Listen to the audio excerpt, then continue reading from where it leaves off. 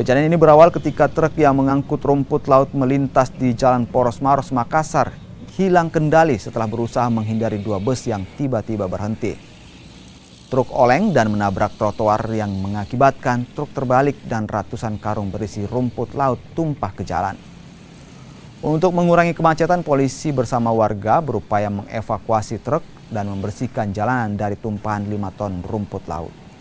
Meski tidak ada korban jiwa, namun sopir truk mengalami luka ringan.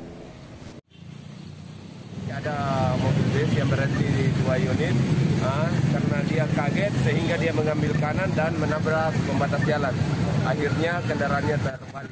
Untuk proses evakuasinya sendiri, uh, kita di Satuan Lalu Lintas Polres Maros mengingat karena mobil derek yang belum ada sehingga kami di sini dengan pengalaman pengalaman yang kejadian sebelumnya kami biasa lakukan dengan cara manual yaitu dengan menarik kendaraan dengan kendaraan yang lebih besar. Imbas perlambatan dengan adanya kejadian ini ada kurang lebih 2 kilo dari arah Maros ke Makassar.